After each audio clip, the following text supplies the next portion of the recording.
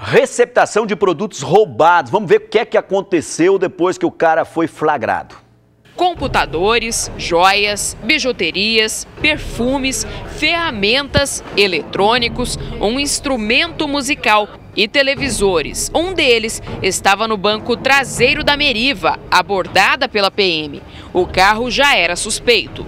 Nós já tínhamos já informações a respeito que um veículo de Meriva de cor branca e estaria dando cobertura a outros indivíduos que estariam cometendo furtos e roubos na região, furtos e roubos à residência e subtraindo é, objetos é, dessa residência. A polícia acredita que todos esses objetos aqui pertençam a mais ou menos quatro casas visitadas pelos bandidos. A maior parte dos delitos foi cometida na região norte de Londrina. A todo momento, vítimas chegavam à décima subdivisão policial para reconhecer os objetos e várias outras devem procurar a delegacia para reaver os pertences.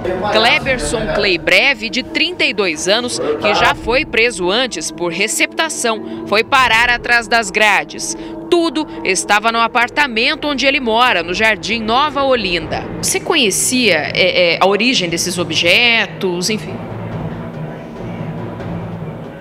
Aí não falou nada, é um direito que ele tem. Você quer que eu fale o quê? Né? A polícia vai investigar direitinho, ele vai ter o direito de se defender.